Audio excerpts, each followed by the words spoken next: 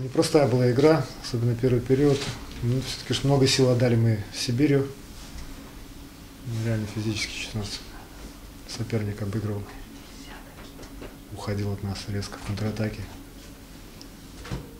Ну, справились, чуть во втором отошли, по глубу.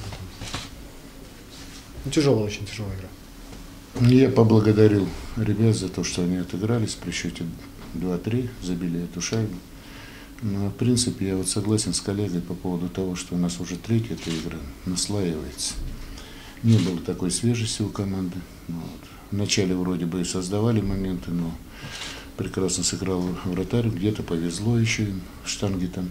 Вот. Ну а в конечном итоге Минск показал, что мастеровитая команда, взяла игру в свои руки, не случайно повела в счете. Ну, по булитам опять наши неумение забивать. Сегодня на раскатке дали это упражнение, пробили 10 раз и не забили ни одной шайбы.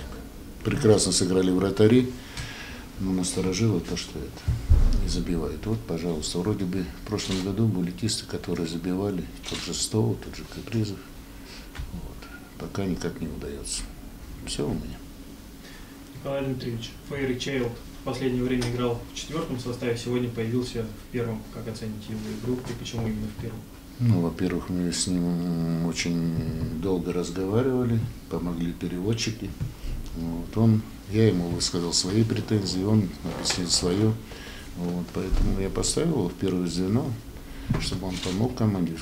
Я очень рад, что он это, в общем-то, сделал. Поэтому дальше посмотрим, что в этом сочетании они будут играть, но беспокоит четвертое звено.